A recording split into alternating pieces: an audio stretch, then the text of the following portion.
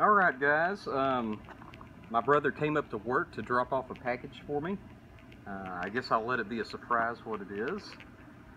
This is a hint, so let's check it out.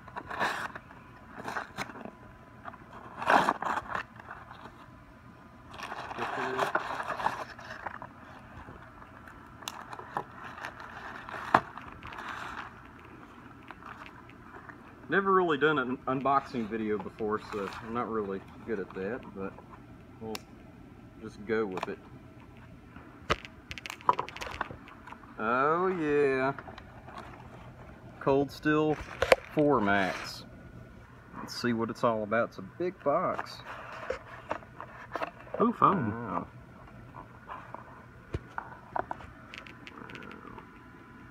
That's cool. Smooth. Oh, that feels amazing in the hand. Rock solid.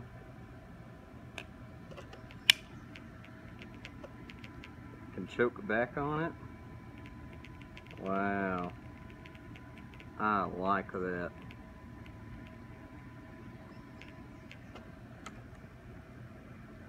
Razor sharp.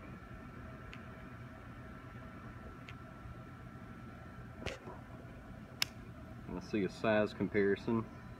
What's on uh, the bottom? This is the Cold Steel American Lawman with the new uh, Thin G10. And uh, this is not Thin G10. I mean, it it's, feels great in the hand. I'm so impressed with that. That lock's not moving. I'm, let's see if I can. So it's supposed to hit right there. Okay, I'm not going to try that yet. I think it needs some wearing in to drop it, but it feels like eventually it'll drop. Or maybe it needs some loosening. The fittings look nice. Centered. Is this your most expensive knife? This is the most expensive folding knife I've ever bought. Made in the USA, uh, USA CPM 20 CV. I've never played with 20C, uh, CPM 20 CV before, but uh, I'm sure it's a great quality steel. Nice grind on it. Kind of feels like a saber grind. It doesn't really feel like a hollow grind. Beautiful G10 titanium pocket clip. I got to check out. Pocket clip feels tight.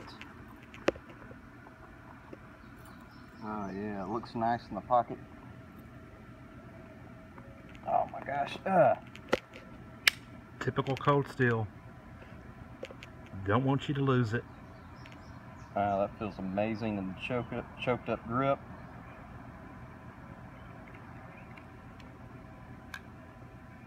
The lock is not too terribly hard to depress, but it just doesn't seem worn in enough to drop it like the American Lawman.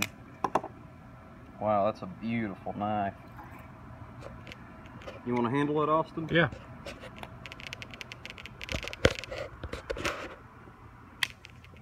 I must say I like the G10 on it. Oh, it's just wiping hair. The tip. That's how. I, I've spent money on Randall knives that couldn't do that. Well, a Randall knife. Uh, it was a Randall SP16, I think. Number 7, or 7 inch. What do you think about it, Austin? Well, I'll tell you what I told Matthew before, when he told me he bought this. Um, I like um, uh, more uh, um, positive points, or um, um, I like point-driven cuts. I like Wharncliffes and um, leaf-shaped blades, Endoras, something that uh, has more point control. But this is this is pretty cool. This looks like it'd be a good skinning knife, hunting knife, maybe a kitchen knife.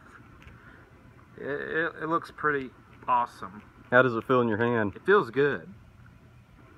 Um, I was kind of expecting a uh, more peel ply G10, um, I think I like the smooth better. To me, it looks classier. Yeah, I like this. I love smooth G10.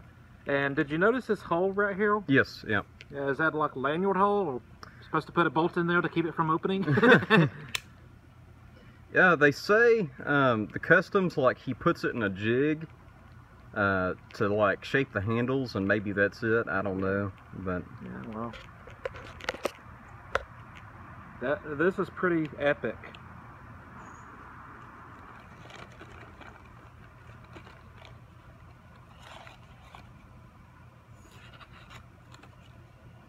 comes out of the box like every knife should. And uh, I don't know if you notice this, the lock actually has jimping on every other um, um, land. Like you, on rifling, you got lands and grooves.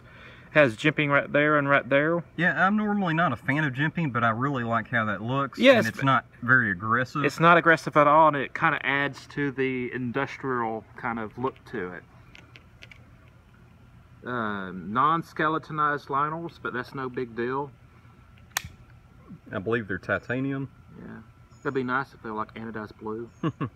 As you can't tell, I like blue. But yeah, that is that is pretty sweet.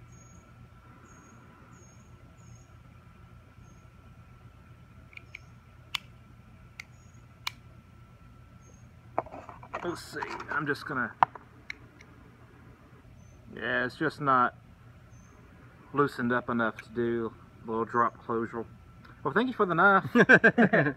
Here, I'll let you play with it a little bit more. I really like the pocket clip, although it's too strong right now. I really love the look of that pocket clip.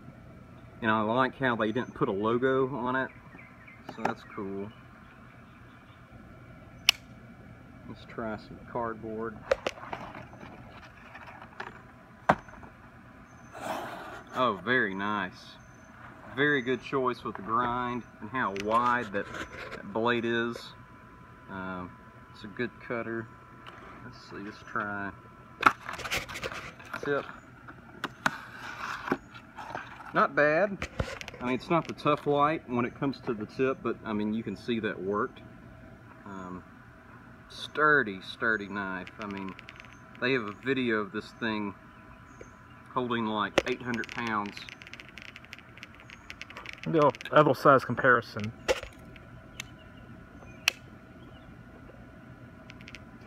That uh, Espada is kind of my baby. That's my dress self-defense knife. If I want to, I don't want to get in a self-defense situation, but if I'm going to carry a self-defense knife and look classy doing it, that's it. Yeah, this was um, one of the most expensive folding knives made by uh, Cold Steel. And now I think this might be, I'm not sure if the XL Spot is more. I'd have to look into that, but yeah. beautiful, beautiful knives.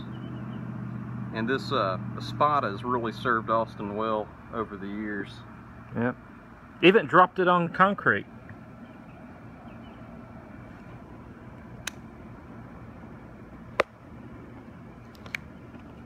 Put the Spatelco in there. We'll baton through this real quick. uh, yeah. Good looking knives. Good yeah. looking knives.